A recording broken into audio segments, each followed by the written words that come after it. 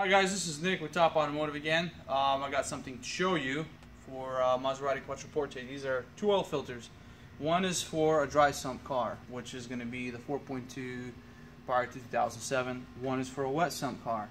This is a wet sump system, takes a different filter than a dry sump. Common mistake, this is the first mistake we just seen on this 2007, is it had a dry sump filter in there. Part number starting with 18.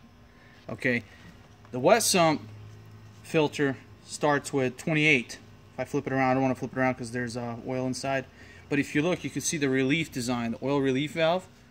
And here's one right here.